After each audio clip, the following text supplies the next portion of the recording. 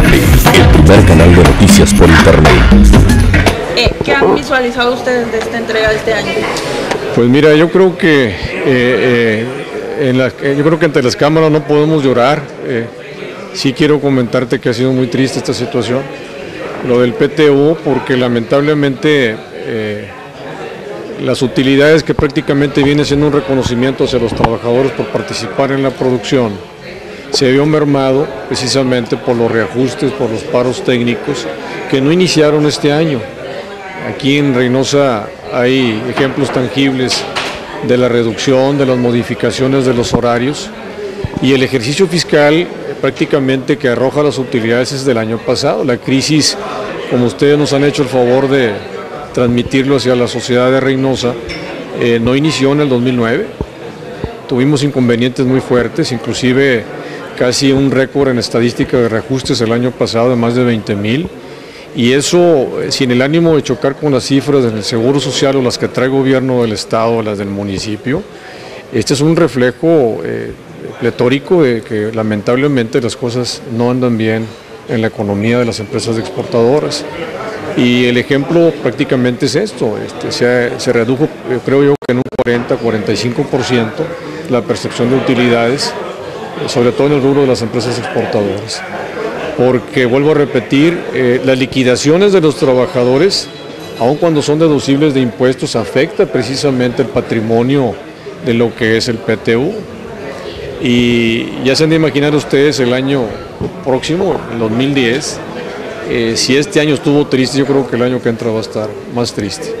Sin embargo, eh, quiero comentarte que no todo es tristeza en el ámbito también de las maquiladoras, puesto que tenemos los sindicatos etemistas, tenemos una garantía, eh, estoy hablando en lo particular de los tres organismos sindicales, yo tengo enunciado en casi la mayoría de los contratos colectivos de trabajo una especie de garantía de compensación para aquellos trabajadores que si bien la empresa arrojó de acuerdo con su carátula fiscal que no, no contó oficialmente con utilidades, tenemos nosotros esa garantía de acuerdo con los números de años de servicios prestados. Por ejemplo, trabajadores que tienen de 60 días a un año de servicios, cuando no se arroja utilidades tenemos prácticamente una semana de sueldo y se va incrementando de acuerdo con la cantidad de años de antigüedad.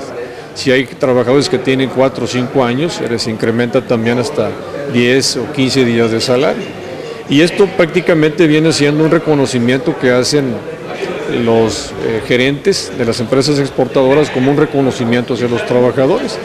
Hay que considerar también que las empresas exportadoras tienen un régimen especial de tributación, sin que yo tenga conocimiento técnico contable, pero sí tuvimos la oportunidad hace muchos años a través de las conquistas sindicales tener ese paliativo para los trabajadores, este, previniendo precisamente este tipo de baches económicos que estamos viviendo. Y hoy se ha incrementado más, ustedes ya conocieron la resolución de que la General Motors ya se declaró en quiebra y eso pues va a trascender definitivamente a aquellas empresas que de una u otra manera eh, tienen trato directo precisamente con las armadoras.